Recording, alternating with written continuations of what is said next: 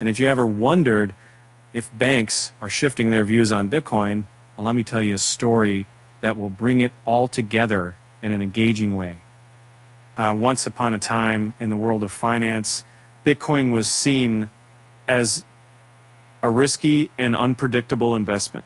Um, but that all changed when banks started dipping their toes into in the world of cryptocurrencies.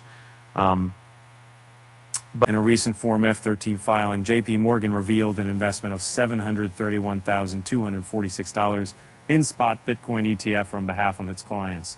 They allocated the majority, 477,425, to IB and BlackRock, alongside investing in Bitwise's BITB, Fidelity's FBTC, and Grayscale's GBTC. Uh, joining the fray was U.S. banking giant Wells Fargo, holding 2,245 shares of GBTC, valued at $121,207. And the trend didn't stop there. In early April, Europe cents at the 8A cents as BNP Paribas purchased 1,030 IBIT shares for $41,684. Uh, these developments signify a notable shift in the stance of several banks, indicating a uh, growing interest and openness toward BTC as uh, uh, an investment vehicle. Uh, and it's not just Europe Uh, and uh, the U.S.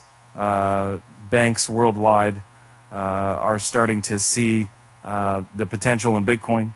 In fact, just a few months ago, Jamie Dimon, CEO of JP Morgan, made a bold stance against Bitcoin during a conversation on Squawk Box. But he did note that Bitcoin has some use cases and everything else is people trading among themselves. Uh, these developments are not only changing the views of banks, uh, but also the regulatory landscape.